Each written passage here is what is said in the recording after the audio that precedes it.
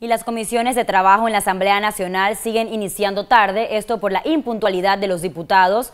Yareli Sureña nos informa. La inasistencia y la impuntualidad siguen siendo las malas prácticas entre algunos diputados de la Asamblea Nacional, esto a pesar de los cuestionamientos de la población por la baja productividad de este hemiciclo. Este miércoles, la Comisión de Comercio tenía previsto iniciar a las 9 de la mañana su primera sesión, pero ya había transcurrido una hora y solo un diputado de los nueve comisionados estaba presente.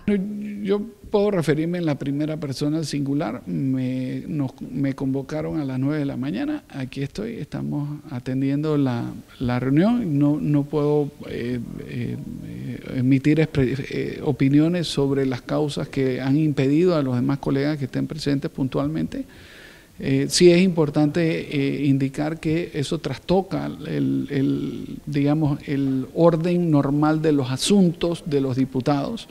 La Asamblea Nacional perdió un mes por la disputa que hubo en la conformación de las comisiones de trabajo, lo que paralizó la discusión de las iniciativas legislativas. El diputado Fernando Carrillo, de Cambio Democrático, reconoció que este es un problema que hay que erradicar. Siempre va a ocurrir, eso, eso va a ocurrir. Yo, mire, yo no puedo en un momento dado eh, ni justificar ni sancionar a mis colegas, eso le corresponde al pueblo panameño a la hora de, de escoger y que se esfuercen un poco más en precisamente conocer quién de los, nosotros, los que estamos conformando esta asamblea, cumplimos con nuestro deber. El diputado presidente de la Comisión de Comercio aseguró que se tomarán algunos correctivos. No, eso acuérdense que los diputados tienen a sus suplentes que pueden enviar, pero sí pues haremos público cuando no, no, les interese, siempre y cuando notemos que no les interese, pero sí hemos visto que nuestros diputados en su gran mayoría creo que 100% te podría decir, son personas que van a cumplir. El mismo panorama se registró en la Comisión de Transporte, quien inició sesión después de una hora de atraso.